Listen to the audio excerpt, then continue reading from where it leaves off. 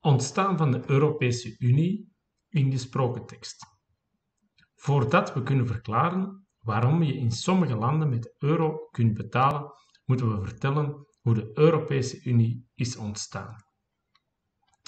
In 1957 was het voor handelaren en fabrikanten in Europa niet makkelijk om handel te drijven met mensen in het buitenland.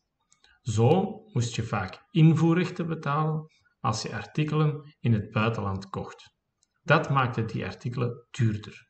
Boter bijvoorbeeld was goedkoop in Nederland en duur in België. Als een Belg boter uit Nederland invoerde, moest hij daar invoerrechten voor betalen. Zo werd de Nederlandse boter duur in België.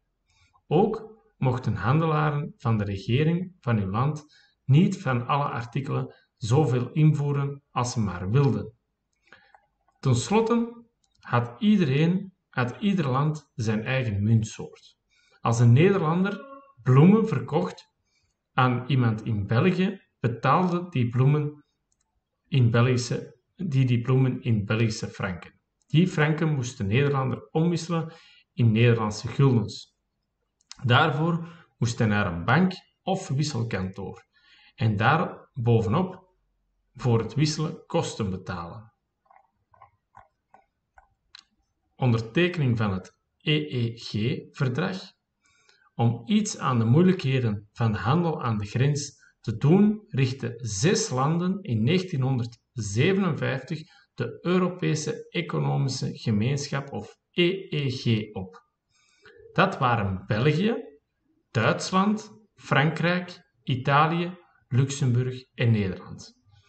Bij de handel tussen deze landen werden invoerrechten verlaagd en werden andere dingen makkelijker gemaakt of afgeschaft. In 1967 werd de EEG omgedoopt tot Europese Gemeenschap of EG. Daarna kwamen, kwamen er andere landen bij.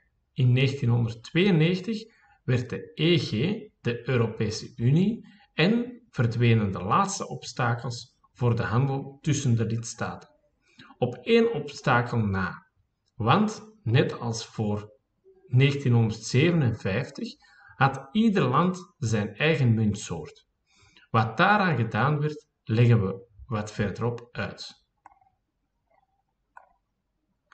ontstaan van de eurozone, toen de handel tussen de landen van de EEG en later de EU toenam, wilden, steeds meer handelaren in die landen van al dat gereken en gewissel af. Ze konden dan dat al die landen één en dezelfde munt zouden moeten hebben. In 1992 spraken deze landen met elkaar af om zo'n munt in te voeren.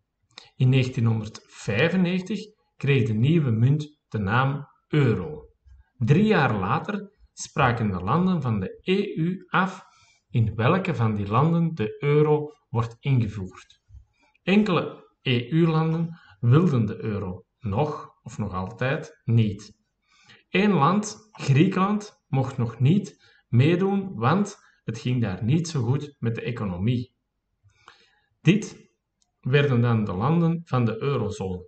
In 2000 kreeg Griekenland alsnog de euro. Op 1 januari 1999 werd de euro ingevoerd, maar hij werd alleen gebruikt bij betalingen over de grens en zonder dat er cash geld bij gebruikt werd. Ieder land van de EU behield zijn eigen muntsoort. In België waren dat de Belgische franken. Wel werden er euromunten en bankbiljetten gedrukt.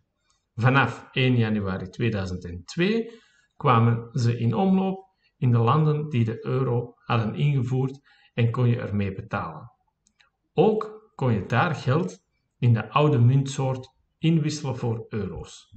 Dat ging tegen een wisselkoers die bij invoering van de euro was vastgesteld. Voor Belgische frank was 1 euro gelijk aan 40,3399 Belgische franken. Na verloop van tijd mocht je alleen in euro's betalen. Het symbool voor de euro is de Griekse letter epsilon met twee strepen erdoor. Dit benadrukt de stevigheid van de munt en lijkt tegelijk op het symbool van, voor dollar en yen.